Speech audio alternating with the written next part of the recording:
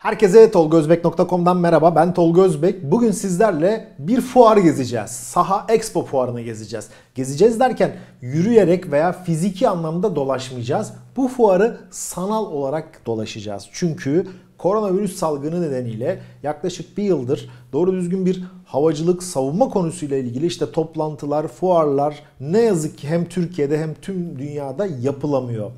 Ee, umarız 2021'de bu sağlık problemleri bir an önce çözülür ve bizler tekrar o görmek istediğimiz fuar alanlarına, uçaklara, helikopterlere, gösterilere tekrar kavuşuruz. Ve aynı zamanda tabii sektörden yakın haberleri de bu gezeceğimiz fuarlarla sizlerle paylaşma şansına sahip oluruz.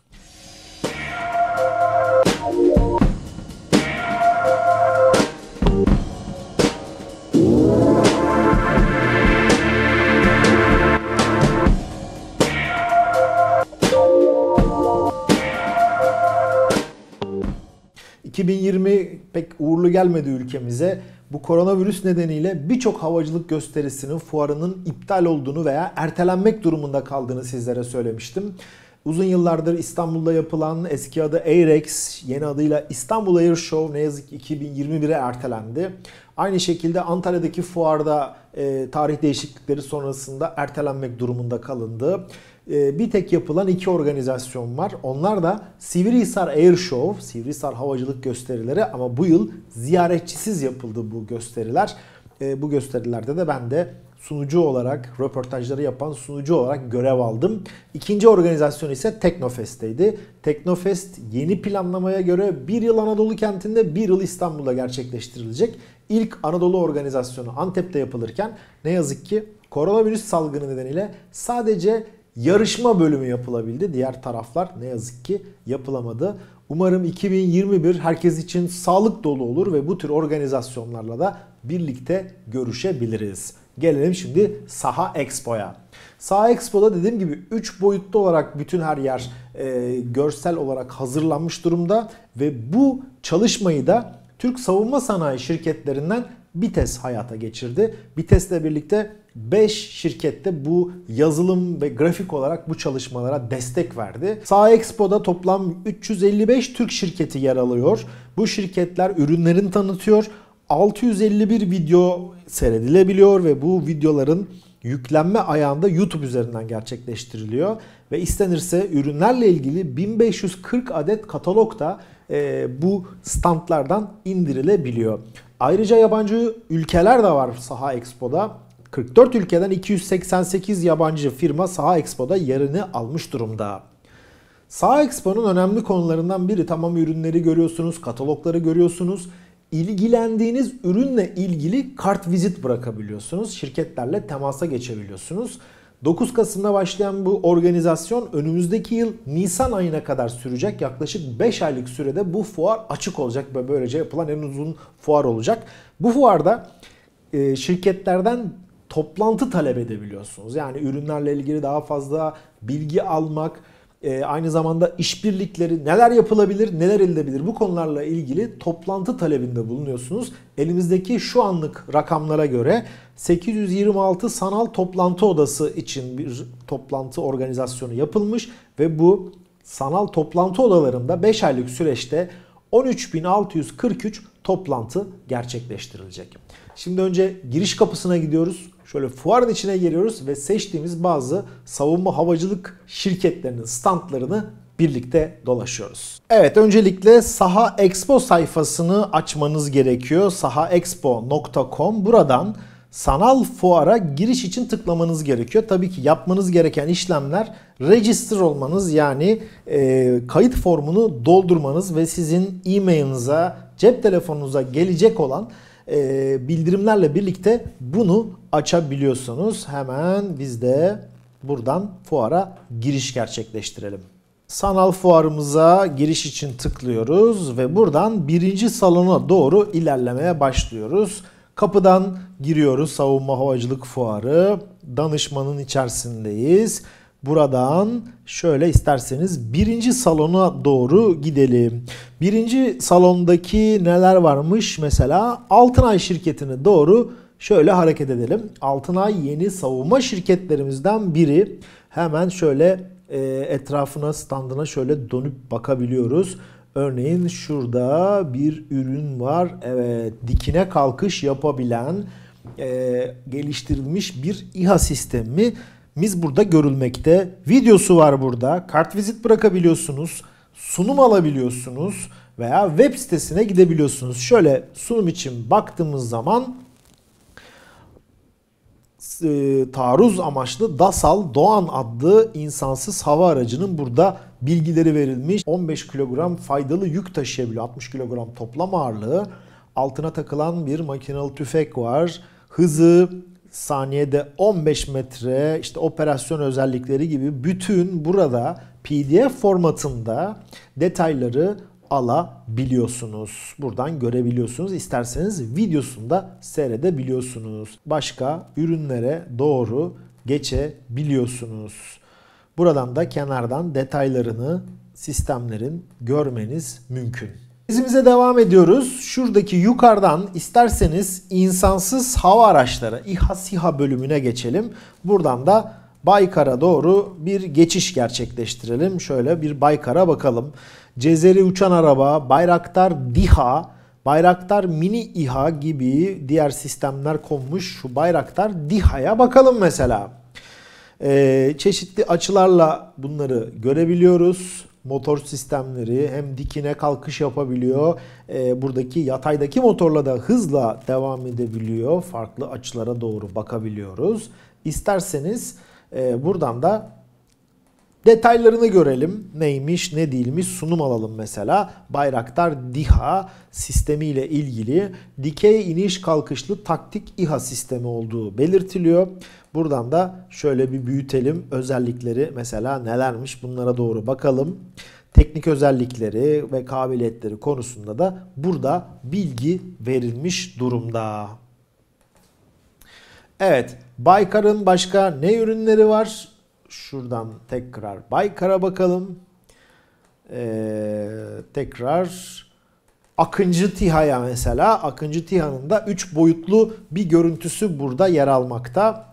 Akıncı TİHA'nın özelliklerini örneğin bakalım video var mı? Videoya bakalım. Akıncı belgeseli yerleştirilmiş. Buradan e, videoyu isterseniz şöyle e, büyük olarak tam ekran kullanılamıyormuş ama buradan YouTube'a basarak gidebiliyoruz.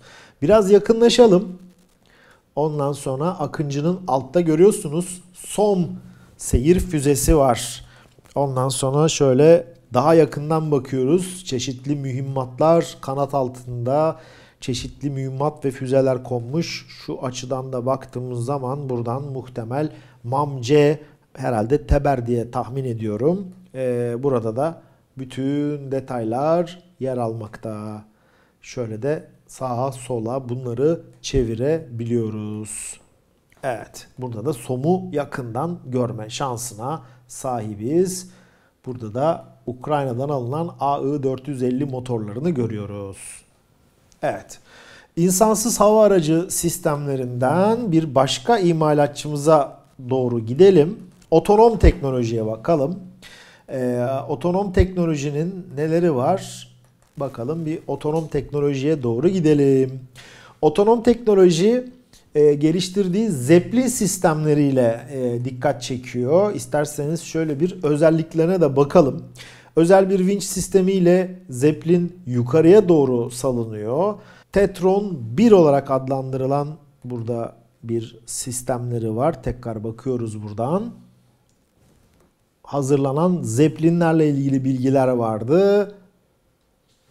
Doruk sistemi gördüğünüz üzere Doruk sistemi 10 metreden 40 metreye kadar e, değişen boylara sahip. 1500 metre irtifaya çıkabiliyor. 500 kilograma kadar faydalı yük taşıyabiliyor ve bir haftayı süren e, görev uzunluğuna sahip. Buradan sistemleri şöyle yakından görebilme şansına sahibiz. Evet. Buradan e, genel olarak aramalara şöyle bir TUSAŞ'a doğru gidelim. TUSAŞ'ta neler var onları bir görelim. TUSAŞ'a doğru gittik. Tabi TUSAŞ'ın burada önce bir filmini oynatıyoruz. T-129 Atak'la ilgili e, filmini, genel tanıtım filmini buraya vermiş TUSAŞ. Evet hemen solda şöyle bakıyoruz hemen ağır taarruz helikopteri konsepti burada. Ondan sonra şöyle şurayı da kapatalım. Buradan çeşitli farklı açılara bakarak e, ağır taarruz helikopteri ki MOKAB'ı geçtiğimiz yıl İDEF fuarında sergilenmişti. Buradan görebiliyoruz. Hemen şu arkada Gökbey helikopteri var. Gökbey helikopterini buradan görebiliyoruz. Halen uçuş testleri T-629'un devam ediyor. Umarız tamamlanır en kısa zamanda ve sertifikasyonla hayata geçer bu sistem. T-625 çok özür dilerim Gökbey helikopterinin kataloğuna da buradan bakmamız mümkün. Şöyle arkaya hemen T-129 Atak helikopteri. Atak helikopteri de burada yerini almış durumda.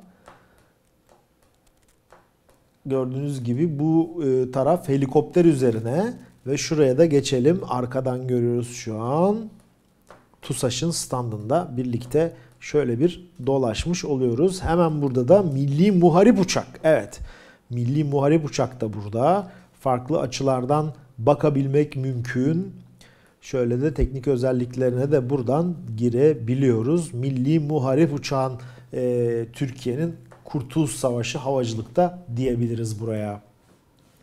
Şimdi bir başka dev savunma şirketimiz Aselsan'a doğru geçelim.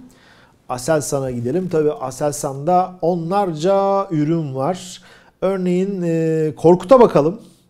Şuradan birçok sistem var tabi. Korkut, kundağı motorlu alçak irtifa hava savunma sistemi. Şöyle bir yaklaştığımız zaman farklı açılardan görebiliyoruz. Korkut'u biraz da teknik özelliklerine isterseniz bakalım. Korkut'ta evet iki namlulu oluşturulmuş e, kendinden e, iki namlulu oluşturulmuş sistemin burada tanımları yer almakta. Aselsan'dan sonra da TUSAŞ Motor Sanayi TEİ'ye doğru bir gidelim. Malum son dönemlerde PD170 çok gündemde TEİ'de. PD170 modeli biliyorsunuz en son haberlerini yaptık. TB3 olarak adlandırılacak. Bayraktar'ın yeni modelinde de bu motor kullanılacak. PD170 malum Bayraktar'ın TB3 modelinde kullanılmaya başlanacak. Rotax'ların yerini alacak. TB2'lerde Rotax 912'ler vardı. TB3 modelinde de PD170 kullanılacak. PD170 halen Anka, TUSAŞ tasarımı Anka'da başarıyla kullanılıyor. TEİ bugüne kadar 40 motor siparişi aldı. Bunların 20'sini teslim etti TUSAŞ'a. Kalan 20'nin belki bir kısmı Bayraktar'a gideceğiz. Bunu da merakla bekliyoruz. Şöyle e, PD170'e baktığımız zaman farklı açılardan görebiliyoruz. Şurada da başka sistemleri, alt bileşenleri var. Buradan hemen T'nin bir başka motoruna doğru geçiyoruz. Bu motor tabi yüklenirken biraz zaman alabiliyor. TS 1400 motoru ki Atak ve T625'te kullanılacak bir motor. Şöylece T'nin genel standına da bir bakmış oluyoruz. Evet. Şimdi isterseniz bir de STM'ye bakalım. Bir başka savunma havacılık devimiz STM'ye bakıyoruz. Örneğin denizaltı sistemlerine doğru bakalım. Ee, burada Milgem'le ilgili bir arka planda var. Denizaltı sistemleriyle ilgili de buraya bir gemi modellemesi konulmuş.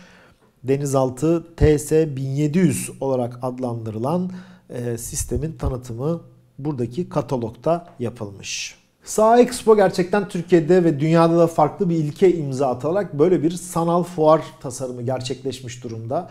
Ee, biraz önce de belirttiğim gibi e, kayıt yaptırdıktan sonra kart vizitinizi bırakarak burayı gezebiliyorsunuz veya şirketler arasında görüşmeler özel toplantılarla yapılıyor. Tabi bu pandemi döneminde maske, mesafe ve temizlik çok önemli. En azından bilgisayar karşısından da olsa da şirketler ayakta kalabilmeyi, iş yapmak üzere e, çalışmalarını gerçekleştiriyorlar. Bugün size Sağ Expo fuarını anlatmaya çalıştım. Genel şöyle bir basit bir tur yaptık. e, tabii gerçek fuarın yerini tutmuyor ama en azından bu koronavirüs günlerinde bunlarla da yetinmek, bunun bile olması gerçekten büyük bir şans. Umarım bu bela bir an önce sona erer ve biz de e, gerçek fuarları gezmeye, sizlere aktarmaya devam ederiz. Bizlere lütfen sorularınızı yorum olarak yazın veya info.tolgozbek.com adresine mesaj yollayabilirsiniz. Katıl tuşuyla kanalımıza destek verebilirsiniz. Ve tabii ki olmadıysanız abone olmaya ve bildirimlerinizi açmaya sizleri davet ediyorum. Detaylı savunma ve havacılık haberleri ise tolgozbek.com sitemizde. Yarın yeni bir videoda görüşmek üzere. Herkese sağlıklı ve mutlu günler diliyorum.